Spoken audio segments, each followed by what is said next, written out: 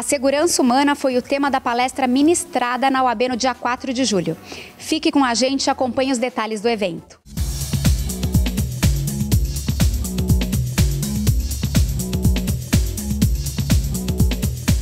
Segurança humana, ele, ela na verdade é, é, hoje é uma secretaria adjunta de segurança humana das Nações Unidas, tá? É um programa das Nações Unidas da ONU que tem por objetivo implementar os 17 Objetivos de Desenvolvimento Sustentável que foi aprovada na Assembleia Geral da ONU em 2016. O que significa que, na verdade, é, o Kofi Annan, no ano 2000, lançou as metas do milênio. E com o lançamento das metas do milênio, os 193 países tiveram 15 anos, até de 2000 até 2015, para poder é, apresentar, apresentarem as propostas. Tá? E em 2015 nós tivemos o 14º, 13º Congresso das Nações Unidas em Doha, no Catar. E lá foi aprovado, ou seja, que no ano seguinte, na Assembleia, seria apresentada, que aí já seria a segunda fase do, das metas do milênio, que seria de 2000, que é a Agenda 2030, tá? Então ela foi aprovada na Assembleia Geral os 17 objetivos. E os 17 objetivos, ele estabelece o que, que na verdade a humanidade precisa para não só o seu desenvolvimento, mas sobretudo sobre a, a perspectiva de futuro porque todos nós precisamos, na verdade, ter essa perspectiva e nós percebemos que nós temos perdido esse, é, esse referencial. Então, a palestra de hoje aqui na UAB, ela tem por objetivo implementar o, a segurança humana, é, não só no Brasil, mas em toda a América Latina, haja vista que o COPLAD, que é o Comitê Permanente da América Latina é, de Prevenção de Crime, que é um programa do ILANUD, que é o Instituto das Nações Unidas para essa questão só para a América Latina. É, então, implementar em todos os 19 países é, essa, esses 17 objetivos, tá? Que esses objetivos são é, estabelecidos de uma, de, com política globalizada, tá? Internacional, que serve para todos os países do mundo, né? os 193 países, que obviamente faz parte das Nações Unidas. E é óbvio, cada país ela tem uma demanda, cada país tem uma necessidade.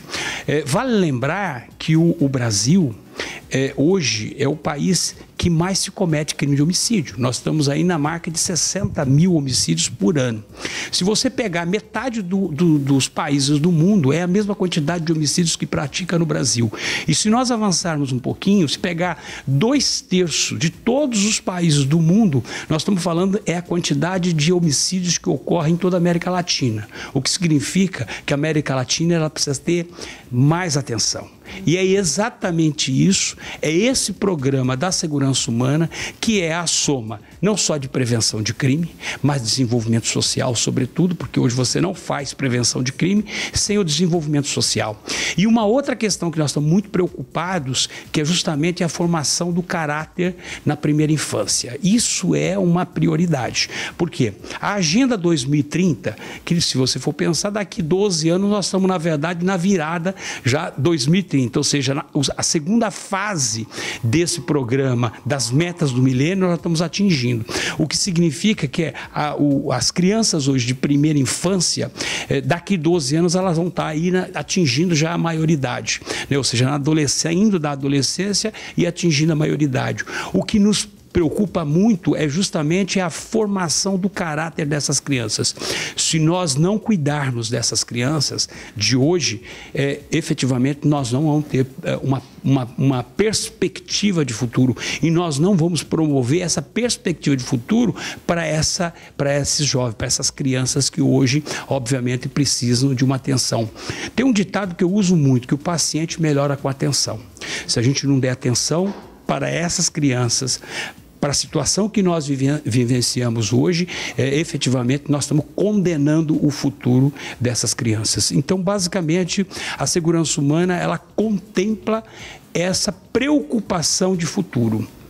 Essa perspectiva de futuro. Então, basicamente, é isso que nós vamos falar: é a implementação dos 17 Objetivos de Desenvolvimento Sustentável das Nações Unidas, Nações Unidas, Agenda 2030. O que mais a gente eh, tem observado e percebido, sobretudo, é que todo mundo diz que não tem recursos. É, esse é o ponto final. Ah, nós não temos recurso. E, de fato, às vezes, a falta de recurso inviabiliza qualquer programa, eh, qualquer políticas públicas, né? qualquer programa social, eh, efetivamente. O que eu tenho, o que nós temos levado é que a, a ordem dos advogados, as subseções da ordem, a ordem é uma rede. O que a, as Nações Unidas busca é exatamente a formação dessa rede. Tá? E qual é o trabalho que a OAB pode fazer? As subseções podem fazer. Um trabalho regionalizado, localizado.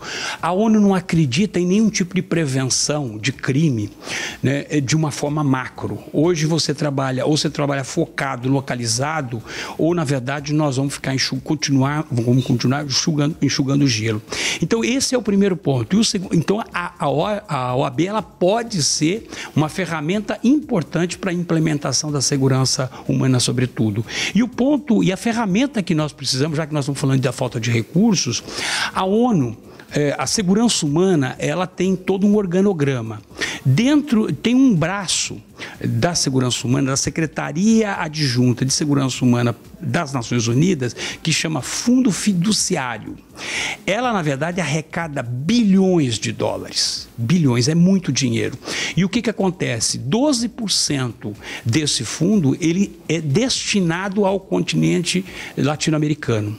Só que esses 12% ele não está sendo utilizado. E por que, que ele não está sendo utilizado? Não tem programa não tem projeto.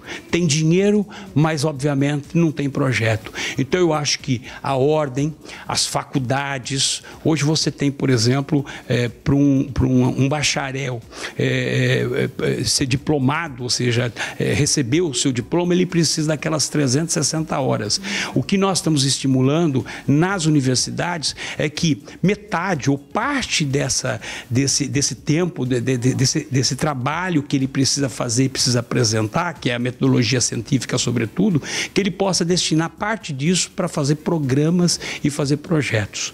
O que eu estou fazendo aqui é atrás de projetos, é a, a, a, atrás de programas, porque através dos programas nós vamos poder, na verdade, é, mostrar qual é o caminho para poder atingir esses recursos. E como é que nós fazemos isso? Através, dia 4 de, dia 2 de abril agora passado, nós fizemos o Fórum Internacional à Segurança Humana na América Latina e lançamos o, o livro Universo da Segurança Humana. O, o, essa, essa obra do professor Edmundo é, tem por objetivo explicar exatamente como é que se, como é que se formou do ano 2000 até agora 2018, como é que foi formatado essa secretaria que até então, há uns dias atrás, ela era uma coordenadoria e agora ela virou uma secretaria adjunta, né? ou seja, e também um conselho especial do secretário-geral das Nações Unidas. E vale é, lembrar que na época que o Kofi Annan foi secretário da ONU, a África ganhou muitos, recebeu muitos, muitos incentivos e muitos programas. O Ban Ki-moon, quando ele foi presidente, a Ásia recebeu muitos, muitos recursos, muitos programas foram apresentados. E agora nós temos que aproveitar que quem é o secretário é o Antônio Guterres. Foi primeiro-ministro de Portugal, portanto, língua portuguesa. Então nós temos que aproveitar esse momento para que, já que nós temos um secretário de língua portuguesa, fazer com que, obviamente, façamos eh, o que a África fez e o que a Ásia fez. Então, isso é fundamental. E o nosso trabalho, é exatamente nesse programa, é implementar a questão da segurança humana na América Latina. É, eu tive a honra de, de prefaciar esse, essa obra do professor em inglês, português, e as próximas edições vão ser inglês, português e espanhol. Algumas pessoas até acham estranho, por quê? Por que inglês em primeiro lugar e não português? Porque a língua oficial das Nações Unidas é o inglês. Então, mais vem o português e depois vem o espanhol. Então, as próximas impressões elas serão feitas nas três línguas para poder cobrir toda a América Latina. Essa é a primeira obra lançada sobre segurança humana no mundo por um brasileiro. Então eu me sinto extremamente honrado de ter prefaciado esse, essa obra, porque mostra que é, o Brasil tem feito muito por essa, é, pela segurança humana. Então isso, na verdade, demonstra que nós estamos dentro desse radar a nível globalizado.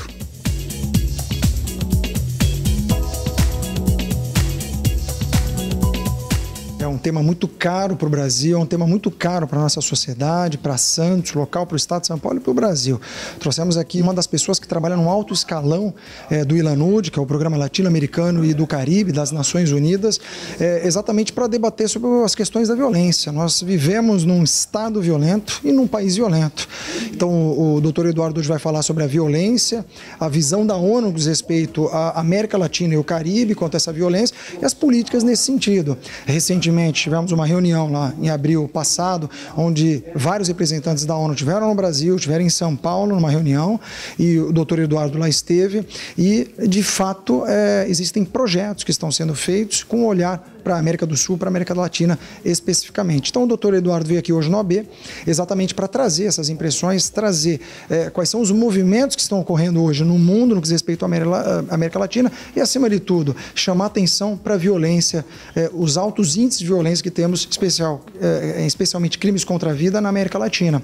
Então, a, a importância, obviamente, é ímpar para a nossa sociedade trazer aqui para o AB é, uma pessoa do gabarito do doutor Eduardo, exatamente chamar a atenção e propiciar para os advogados para o público em geral o contato exatamente com essa visão de um órgão internacional tamanha importância como a ONU. Esse livro, na verdade, foi escrito pelo Dr. Edmundo, que também é uma pessoa muito ligada à ONU, é um, é um resumo, na verdade, do que vem sendo feito no que diz respeito à segurança, explicando o que é a segurança humana, em especial na América Latina.